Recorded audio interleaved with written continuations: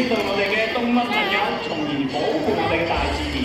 没错，刚刚大家这么开心，我们也非常开心。希望通过我们的讲解，加深你们对动物认识，从而保护大自然。如果大家想睇到真正嘅樹懶，可以去到山下香港路大街嘅樹懶與好友展館。如果仲想睇到其他海豚朋友，可以由呢邊嘅出口去到我哋嘅海洋哺乳動物繁殖及研究中心。